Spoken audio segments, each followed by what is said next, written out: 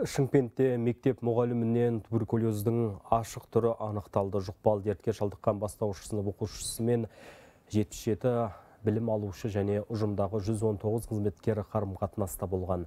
Санитарлық эпидемиологиялық бақылау департаментінің мамандары науқаспен байланыста болған азаматтарға медициналық тексерулер тағайындаған мәлімдеді. Олар түгелде тексерістен өтіп арнайы дәрілік екпе қабылдайтын болады. Ал ауру ошағына арналған білім ордасына тиісті залалсыздандыру жұмыстары жүргізіледі. Сол себепті дәстүрлі оқу формасы жалғаса береді.